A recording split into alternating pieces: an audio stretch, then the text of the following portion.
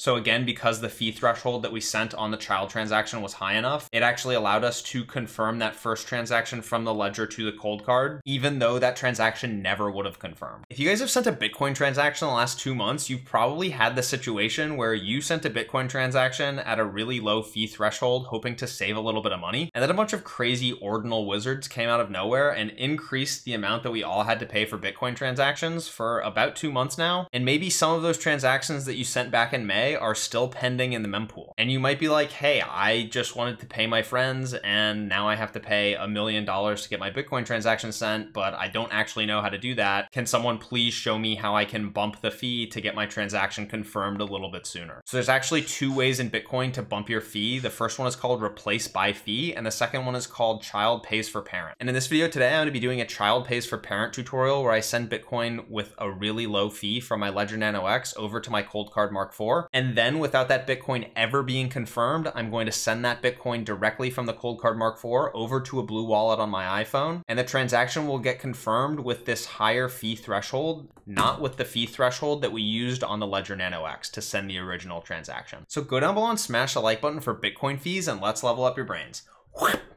All right, guys, so the first thing we're gonna do in this child pays for parent tutorial, I have my Ledger Live up here on the screen. And then I also have my Sparrow wallet here with my Coldcard Mark IV. So first, let's go ahead and make a send here from our Ledger Nano X, and we will enter the Bitcoin address here from our Coldcard Mark IV. We'll go ahead and click on receive and we'll copy this address back over to the ledger and we're going to paste the address. And then down here, we'll go ahead and click on continue. And now instead of taking Ledger's advice and selecting a fee that would definitely get our transaction confirmed, let's go ahead into advanced and send a fee for only two sats per byte. And we'll go ahead and send $10 of Bitcoin. So our network fees are going to be very low because we decided to send for two sats per byte, which is too low to get included in the mempool. And just to prove that out, we can open up the mempool here and see that two sats per byte would take about 121 blocks to get confirmed, which 121 blocks times 10 minutes divided by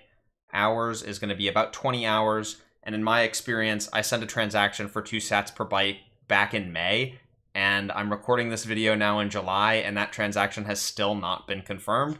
So I don't think this two sats per byte transaction has any chance of being confirmed anytime soon. So back over in Ledger, we're going to again confirm the $10 and the two sats per byte, and we'll go ahead and click on continue and then continue again. We'll open up the Bitcoin wallet here on our physical Ledger device, and we'll just confirm the output for the address and the amount that we want. And we'll go ahead and click on approve and confirm transaction. And it actually turns out that Ledger here is not even going to let us send the transaction because it knows that the minimum fee of the mempool has not been met. It's actually really interesting. Let's go ahead and click on retry and see if that fixes anything. I, I tend to doubt it. It seems like Ledger actually just won't let you send Bitcoin for this low of a fee. So I've accepted that transaction again and let's see what happens. Not gonna let us do it. So let's go ahead and click on retry and we will go back and see if we change this to something like four sats per byte, if that's gonna let us send that transaction. So I've approved the four sats per byte and now it's saying that transaction was sent. So if we go back to the mempool, it looks like a four sats per byte transaction should take about a probably more than an hour. Five sats per byte is looking like 74 minutes at this point. And then we can go ahead over to Sparrow and see if that unconfirmed transaction has shown up. And it looks like it has here. So it's sitting unconfirmed in the mempool over here on our Sparrow wallet. And if we go ahead and right click on this and select view transaction, and then we copy this transaction ID into the mempool, we can see that we just now sent the transaction for about four sats per byte and that it won't arrive for several hours or more. So we have this unconfirmed transaction. It's not going going to arrive for a really long time. How can we get this Bitcoin unstuck from our Coldcard wallet and into a mobile device that we also control like a blue wallet on our iPhones? So all we're going to do is right click on this unconfirmed transaction here in Sparrow Wallet. And the reason that I sent this transaction here to Sparrow Wallet instead of sending it to something like Ledger Live is that actually Sparrow Wallet and Electrum, the desktop app, are some of the only Bitcoin wallets that allow you to do replace by fee and child pays for parent. If I wanted to do this exact same process that I'm going to show you here in Ledger Live, it's actually not possible. I would have to instead reinitialize my ledger onto something like the Sparrow wallet. So Let's go ahead and right click on this address here and we'll click on send selected. So now I'm going to go on my iPhone and look up Blue Wallet and we'll go ahead and take this mobile wallet and click on receive and we'll generate a receiving address to this mobile wallet. We'll paste that receiving address here in Sparrow, and we'll label this child pays for parent.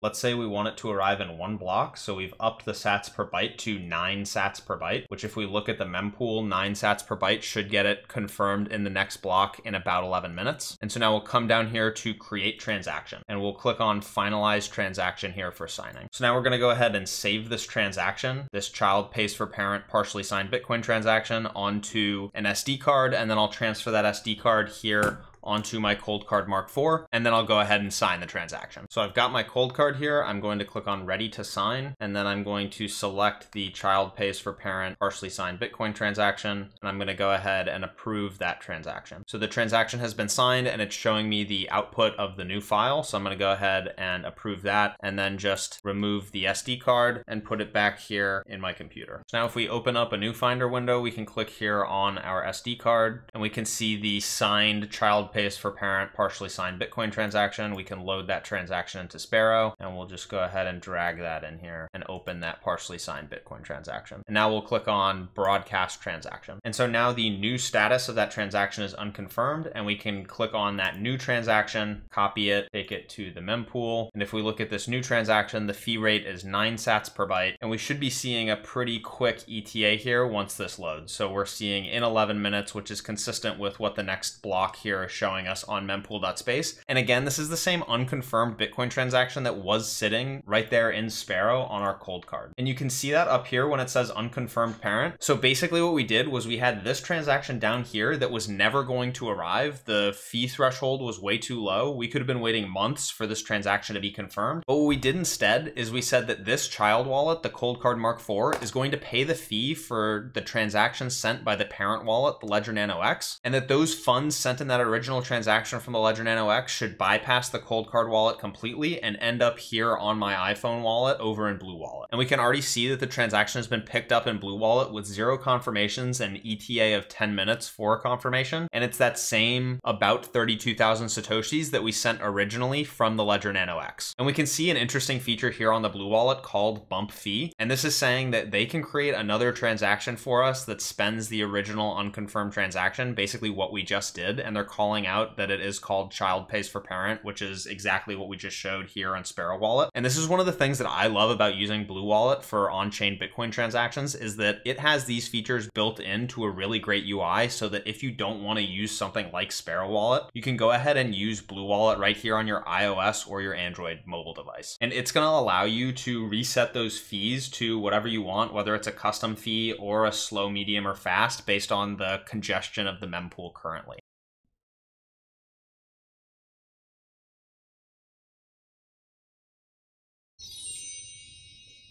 So actually, while I was waiting for this, you could maybe hear that little sound right there. I'll keep that into the video. We actually saw these transactions get confirmed in real time. And you will have seen, you know, based on the video that I had recording right here, that they both confirmed at the same time. So this child pays for parent got confirmed and sent to the Blue Wallet at the same time that this transaction that we sent from the Ledger Nano X that never would have cleared got confirmed to the Coldcard Mark IV in the first place. So again, because the fee threshold that we sent on the child transaction was high enough, it actually actually allowed us to confirm that first transaction from the ledger to the Coldcard, even though that transaction never would have confirmed. And we can see here in real time that when I click on this transaction in the Blue Wallet, it's actually showing that it now already has two confirmations. So hopefully this video was helpful for you guys. The last few months have been pretty crazy with the fee threshold situation in the Bitcoin network. I personally have learned a lot about child pays for parent and fee bumping because at the very beginning of all of this crazy ordinal stuff, I actually moved off of my Casa multisig and had to send a large amount of my Bitcoin stack to another wallet that I controlled. And I just wanted to save money on fees. And so I put a really low fee. And so it took a really, really long time for that transaction to confirm. And so if any of you are stuck in the same situation, I hope you guys can use this video and share this video with your friends to hopefully make it easier for them to understand how you can actually take control and speed up some of those transactions that you might have sent at a lower fee threshold that have maybe been stuck in the mempool for a really long time. Comment down below if this made sense or if you got stuck at any point during the video. I do still respond to all the comments comments. And then like the video and subscribe for new videos every Monday at 10 a.m. Eastern. I love you all.